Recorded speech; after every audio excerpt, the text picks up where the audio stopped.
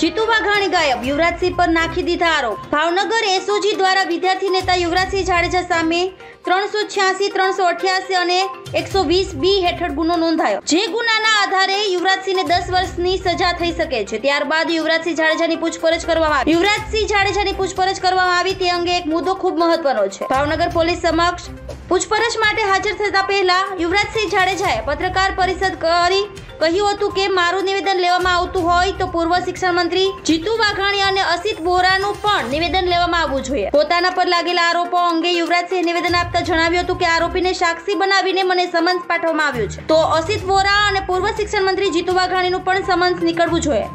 મારા દ્વારા કોઈ પણ પ્રકારનો આર્થિક વ્યવહાર કરવામાં આવ્યો નથી. પરંતુ સમગ્ર મામલો પલટી નાખતા રેન્જ આઈજી ગૌતમ પરમારે કહ્યું કે ચાલતા કૌભાંડ વિશે પણ પોતાની પાસે પુષ્કળ માહિતી હોવાનો દાવો કરેલ તથા યુવરાજસિંહને પોતાને કોઈ પતાવી દેશે તેવું સ્ટેટમેન્ટ આપે આ તમામ બાબતો વિશે પૂછતા યુવરાજસિંહ રાજકીય માણસો સામે કોઈ પણ પ્રકારના પુરાવો નહીં હોવાનું અને પોતે પોતાની ધરપકડથી બચવા માટે આવું સ્ટેટમેન્ટ આપેલ હોવાનું જણાવ્યું છે. ધન્યવાદ.